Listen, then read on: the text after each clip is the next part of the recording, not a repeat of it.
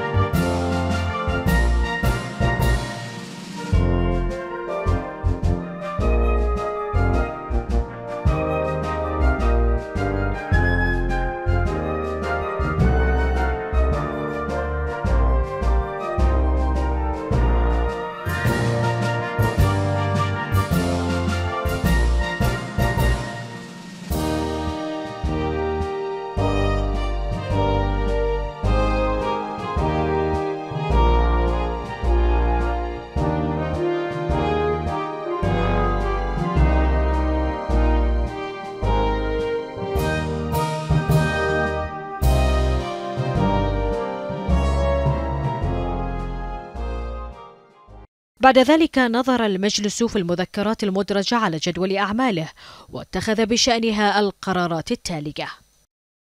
أولا حرصا من صاحب السمو الملكي رئيس الوزراء الموقر على دعم صغار التجار والنهوض بأوضاعهم.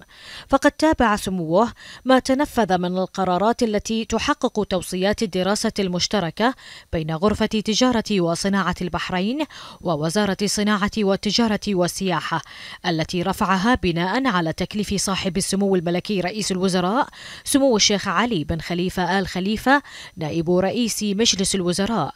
والتي تم في ضوئها إعادة جدولة المتأخرات من مبالغ الرسوم والخدمات المستحقة والمتراكمة على صغار التجار وتقسيطها على دفعات ميسرة تصل إلى 24 شهرا.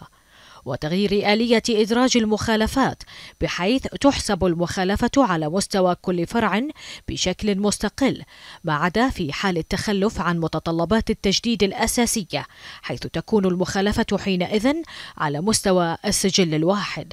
وتخصيص مساحات مختلفة ومناسبة للأنشطة الصناعية للمؤسسات الصغيرة والمتناهية الصغر عند تخطيط مناطق صناعية جديدة ووضع تشريع ينظم مكافحة التستر التجاري بما يكفل تغليظ العقوبات على المخالفين الذين يقومون بتأجير السجلات التجارية.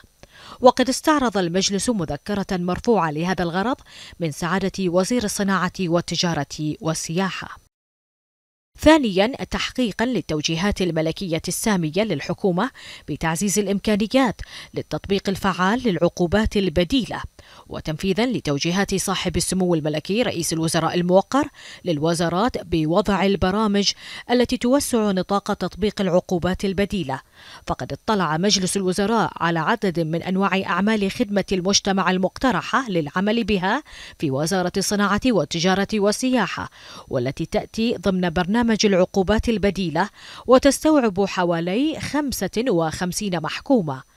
ويمكن أن تتم الخدمة فيها لمدد تتراوح بين شهر إلى سنة وقد استعرض المجلس ضمن هذا السياق مذكرة لهذا الغرض مرفوعة من سعادة وزير الصناعة والتجارة والسياحة وذلك بعد التنسيق بخصوصها مع وزارة الداخلية ووزارة العدل والشؤون الإسلامية والأوقاف. ثالثا أشاد صاحب السمو الملكي رئيس الوزراء بالتعاون البناء وبروح الشراكة المسؤولة بين الحكومة ومجلسي النواب والشورى. ووجه سموه إلى استمرار هذا التعاون لأبعد الحدود وتكريس العمل الإيجابي المشترك تشريعيا ورقابيا وأثنى سموه على ما أنجز خلال دور الانعقاد الأول من الفصل التشريعي الخامس وذلك خلال استعراض المجلس لتقرير شامل مدعم بالإحصائيات بشأن أعمال دور الانعقاد الأول من الفصل التشريعي الخامس عرضه سعادة وزير شؤون مجلسي الشورى والنواب. رابعا وافق مجلس الوزراء على توصيتين من اللجنة الوزارية للمشاريع التنموية والبنية التحتية بشأن قرارات وتوصيات تمسكت بها المجالس البلدية وأمانة العاصمة. وأحال التوصية الثالثة المتعلقة بالبناء بالطابق الثاني فوق المرافق إلى اللجنة الوزارية للشؤون القانونية والتشريعية.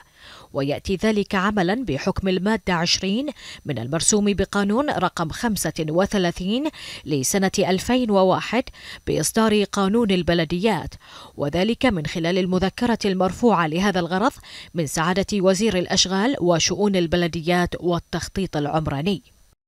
خامسا وافق مجلس الوزراء على مشروع قانون بالتصديق على البروتوكول المعدل لاتفاقية تجنب الازدواج الضريبي ومنع التهرب المالي بالنسبة للضرائب على الدخل بين حكومة مملكة البحرين وحكومة جمهورية باكستان الإسلامية. وقرر المجلس إحالته إلى مجلس النواب وفق الإجراءات الدستورية والقانونية. وذلك بناء على التوصية المرفوعة لهذا الغرض من اللجنة الوزارية للشؤون القانونية والتشريعية والتي عرضها معالي نائب رئيس مجلس الوزراء رئيس اللجنة. سادسا أحال مجلس الوزراء إلى مجلس النواب رد الحكومة على اقتراح برغبة مقدم من مجلس النواب يتعلق باستثناء بعض التوريدات من تطبيق القيمة المضافة.